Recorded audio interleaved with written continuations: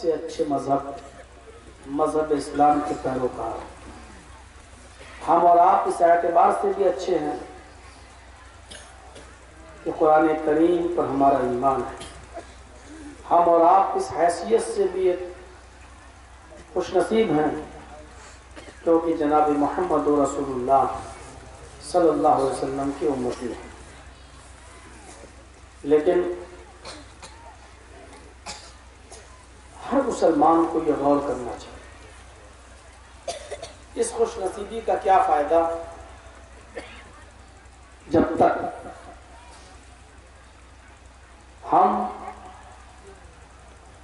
اس کے اندر پورے کے پورے داخل نہ ہو جائیں اور اس کی تعلیمات پر پوری کے پوری طریقے سے عمل نہ کر لینا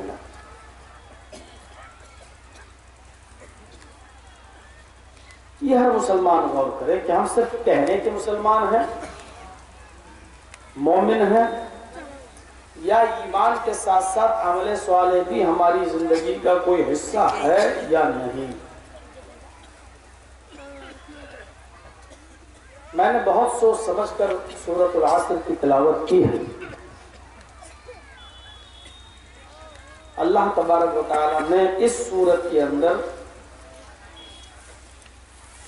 یہ سمجھ لیجیے گا، پورے قرآن کا نچوڑ اور پورے قرآن کا خلاصہ اس سورت کے اندر قید کر دیا ہے۔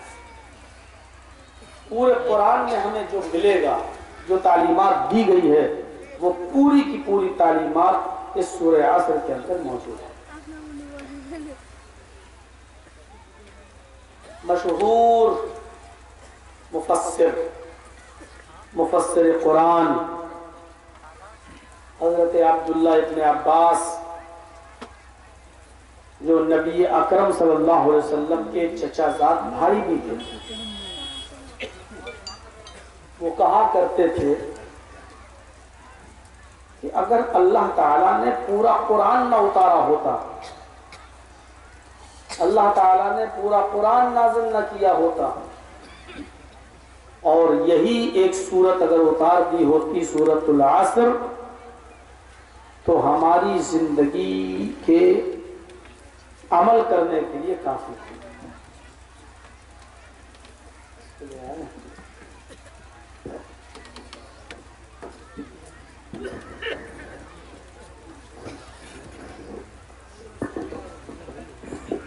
تو وہ کہاں کر بیٹھ جائیے اب؟ ہم لوگ تھوڑا سا ڈسٹرب نہیں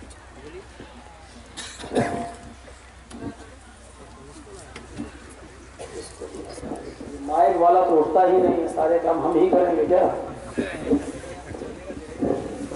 شادی تم کرو گے جائے